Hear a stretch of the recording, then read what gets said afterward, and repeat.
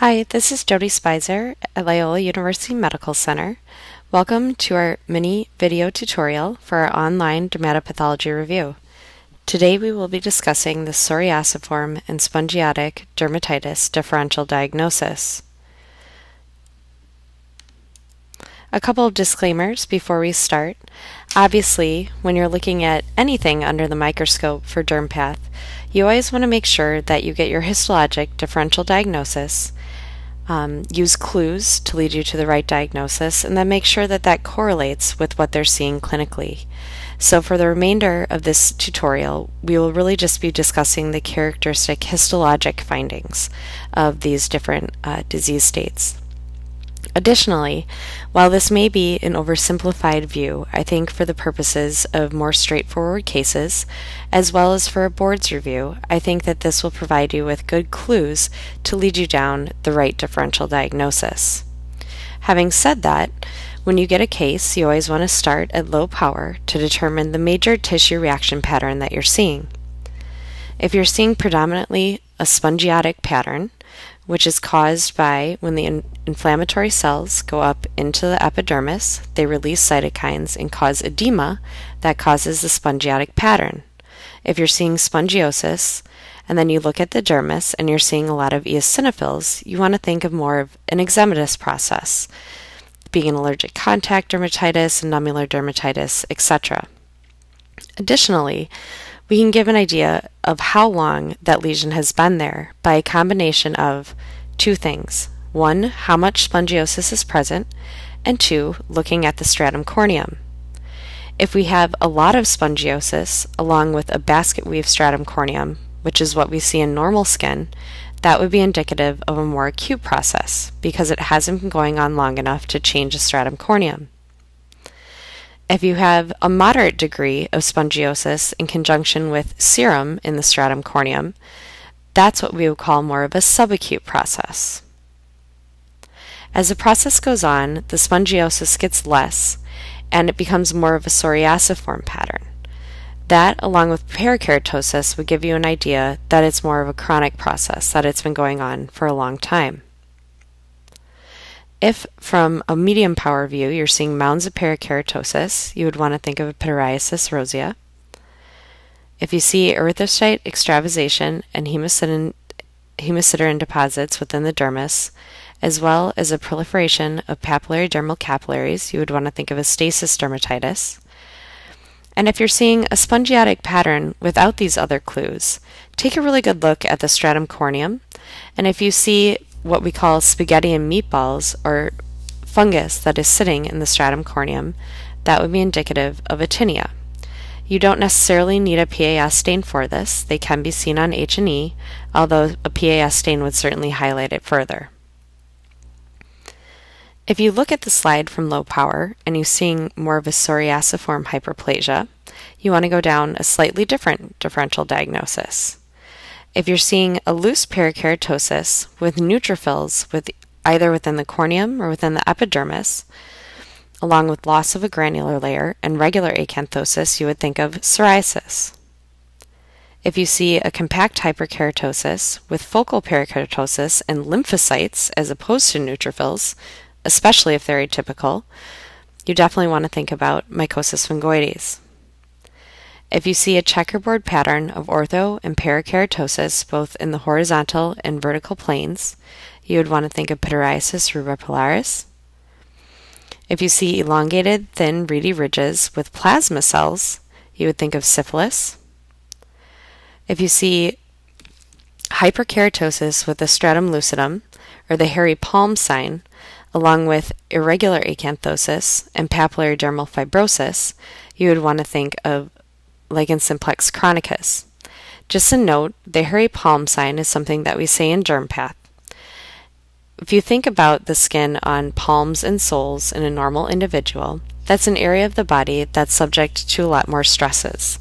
Because of that, the skin is much more thick, and that is why we see the stratum lucidum.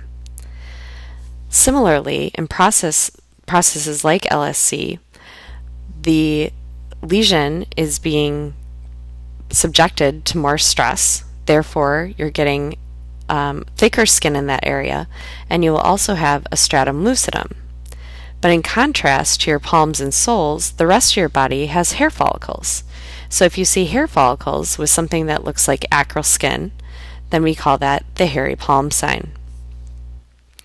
Lastly, if you have psoriasiform hyperplasia and you see eosinophils but a retained granular layer, you also want to think about chronic spongi- spongiotic dermatitis, which can be either in the spongiotic or the psoriasiform. Starting with our first case, this one's a little bit tricky. From low power, we see a predominantly psoriasiform pattern. However, when we look at it on higher power, we can see that there's a parakeratosis on the top. We have a retained granular layer. We have mild uh, spongiosis here, which you can see with the little white lines in between the keratinocytes. That's just basically because the edema is in the epidermis and kind of pulling the keratinocytes apart. And then we have an inflammatory infiltrate with eosinophils. So all of these things taken together would give you a chronic spongiotic dermatitis. Our next case, what we see is a hyperkeratosis with acanthosis. When we look at it on higher power, we see that it's a parakeratotic scale. And then we see areas of very prominent hypergranulosis with this more irregular acanthosis.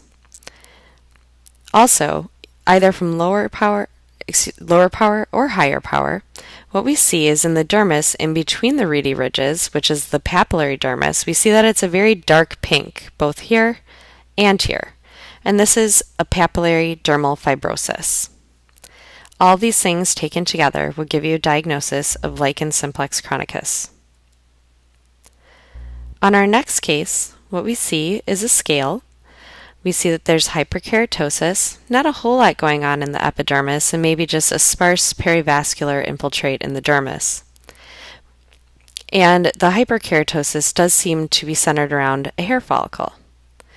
When we look at it on a more medium power view, what we see is that there's alternating parakeratosis and orthokeratosis. And we're seeing that it's both in the horizontal plane, para, ortho, para, ortho, as well as in the vertical plane, para, ortho, para. This is what we call the checkerboard pattern of ortho and parakeratosis that we see in pityriasis rubra pilaris.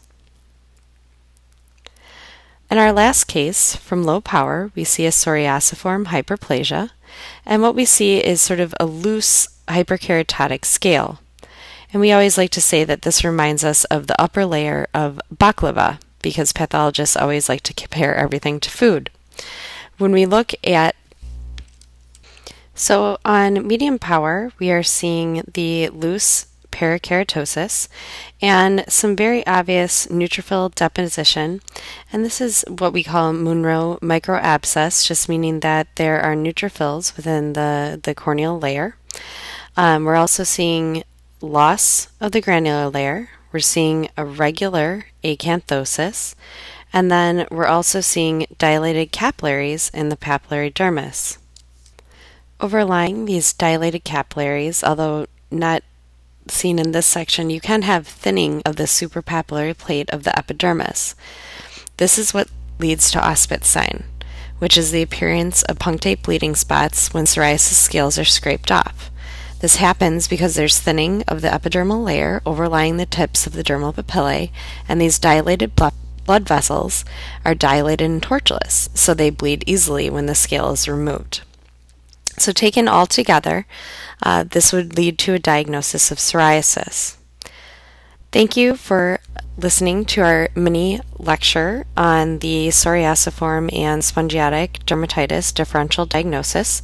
I hope this was helpful and can lead you with some um, good clues to leading you down the right path when you get good cases that come past your microscope. Thank you.